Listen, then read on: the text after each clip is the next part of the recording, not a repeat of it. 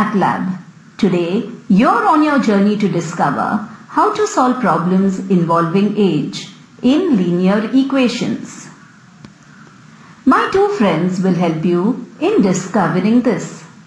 Suppose my friends speak arithmetic. My first friend says, Today I am 12 years old.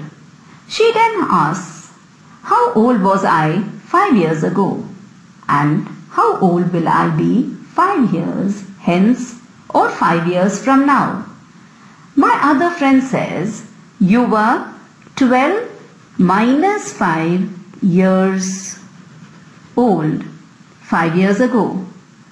You will be 12 plus 5 years old 5 years hence.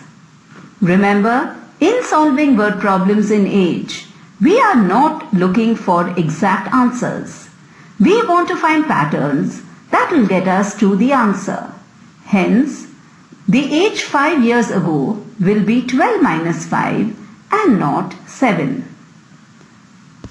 Now, suppose my two friends speak only algebra. My first friend says, Today I am X years old. How old was I 5 years ago? How old will I be 5 years hence or 5 years from now? Remember the pattern you saw. So 5 years ago she was X minus 5 years. 5 years hence she will be X plus 5 years. Now, my second friend says, Today I am 4x years old. How old was I 5 years ago? How old will I be 5 years from now? So, 5 years ago she was 4x minus 5 years and 5 years from now she will be 4x plus 5 years. Let us consider the following problem. Renu's age is 4 times that of her younger brother. Five years back, her age was nine times the age of her brother. Find their present ages.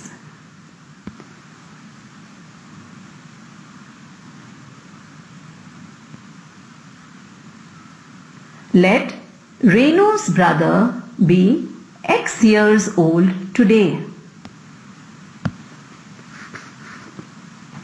We know that Renu will be 4x years old today because she is 4 times as old as her brother. Can you find their ages 5 years ago? Is not her brother x minus 5 years old and Renu 4x minus 5 years old? We also know that 5 years ago Renu was nine times as old as her brother was then. So, can we say 4x minus 5 is equal to 9 into x minus 5? Opening the brackets we get 4x minus 5 is equal to 9x minus 45. Now, bring the x's to one side of the equation and the constants to the other. So we get 45 minus 5 is equal to 9x minus 4x or 40 is equal to 5x. So x is 40 by 5 which is 8.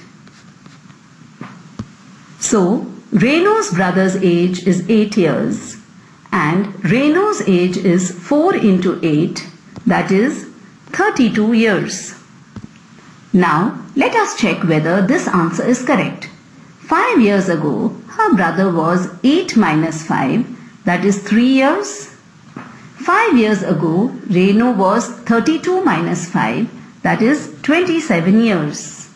Isn't 27 equal to 9 into 3? So Renu's age 5 years ago was 9 times that of her brother's. So the condition of the problem is satisfied.